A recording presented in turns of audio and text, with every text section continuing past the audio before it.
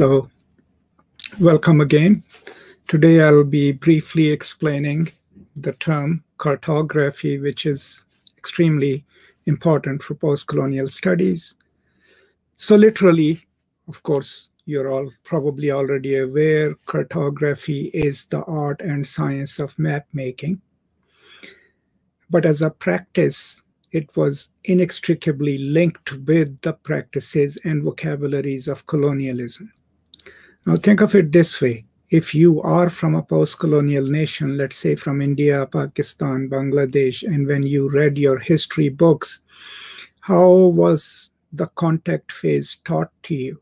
Most of the times we learned that India was discovered by Vasco da Gama or by the Portuguese first and then discovered by the Spaniards and the English. So, in all those instances, what we were internalizing that the colonies, the colonial spaces were these unknown spaces that were waiting patiently to be discovered by the Europeans sailors and European travelers. And that was giving a precedence to this act of discovery by the Europeans, even though the places had existed for thousands of years and had developed their own cultures. So, cartography in the European imagination then was actually literally charting, mapping the globe. And in some of the maps, like at least two in history, the places that were not recorded were declared as dangerous.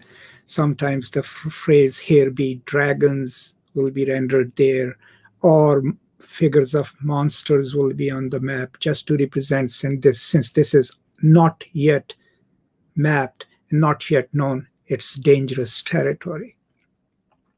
So the act of mapping itself, the practice of it, the techniques of it are absolutely inextricably linked with the with the colonial exercise and colonial movement into these so-called unknown territories. Now, what mapping also allowed the Europeans to do was to imagine these places, which were in some cases highly inhabited, had sophisticated cultural and political systems, to represent them as empty spaces. Remember that famous earlier part of Conrad's Heart of Darkness, in which you know Marlowe talks about the empty places in the world, right? So the idea that if you could represent a place as empty, as void of human life or culture on a map, then you could lay claim to it, right? You could actually say this is uninhabited space. We're going to go record it, chart it, figure out its mountains and all, and hence claim it.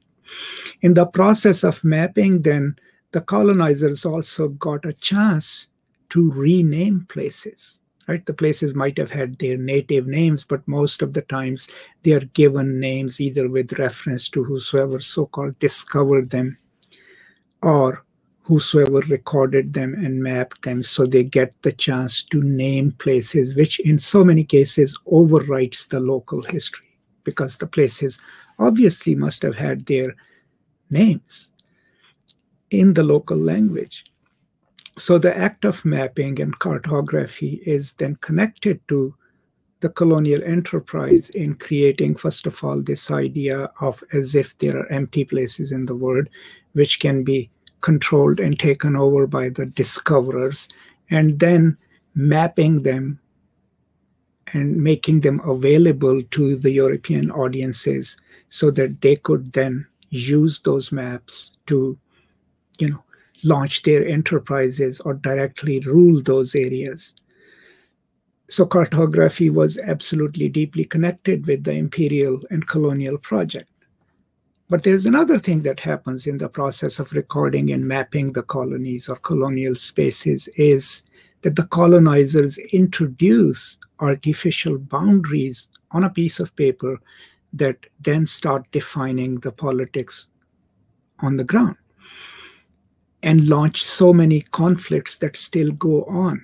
For example, sometimes the mapping divided integral communities into two based on the assumptions of the cartographers, right? Sometimes the maps were produced to implement the larger treaties that were made by the empire. For example, let's say the Durand Line, which is a disputed border between Afghanistan and Pakistan, is a disputed border because the Durand Line was drawn after uh, the British Afghan wars and it was kind of a ceasefire line, but that's the border upon which Pakistan and Afghanistan are divided. The Afghans, of, of course, contest that.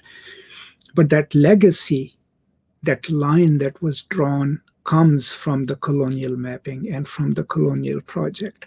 Then, in so many cases, when the colonizers leave, the post-colonial nations that gain independence gain that independence according to the maps produced by the colonizers, which sometimes divides communities or sometimes leaves these disputes behind for the post-colonial nation states to resolve. So they're actually fighting over geography, which had been overwritten by the colonial map making process and then the colonial administration. So overall cartography, wherever, whenever we mention it, literally means the mapping of the colonial spaces, but also metaphorically it means dividing of native cultures, overwriting of native cultures, and leaving legacies of division, right, and po political distrust of one community against the other. Now, if you look at Africa,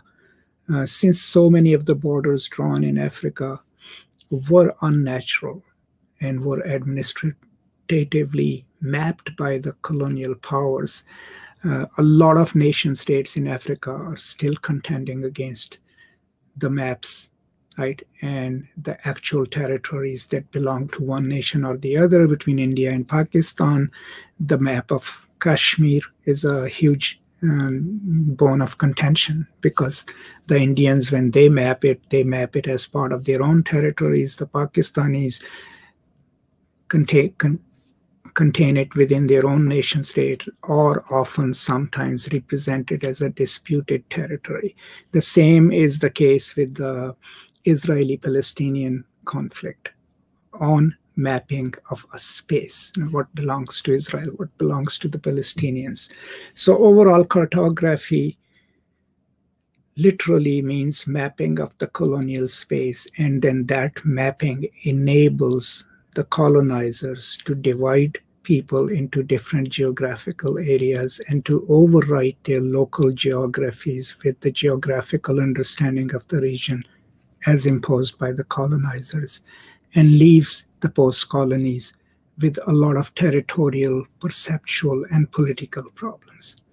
That's my brief explanation of the term. I hope it is helpful. Um, if you like what I post here, please do subscribe, and I will continue producing these brief videos. And thank you so much for joining me. And until next time, see you next time.